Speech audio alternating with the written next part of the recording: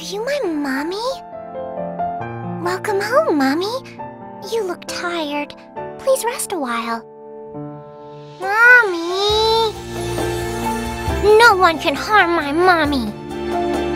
If Mommy needs me to be strong, I will try my hardest. I want to help Mommy, but I can't move my body. I can always feel my Mommy's love for me. We can return home early. I'm sorry, Mommy. Mommy has finished making the food. Should I carry it out? Mommy? What are you thinking? I am so happy to spend every day together with Mommy. Mommy, do you want to eat shrimp?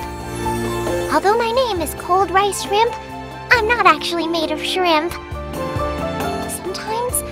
Get the feeling that I've forgotten something. What on earth could it be? I don't want us to separate. Mommy and I are the same.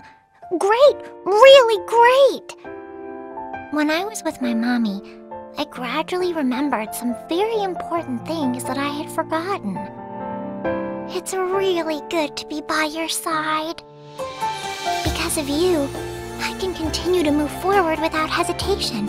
So please continue to watch over me.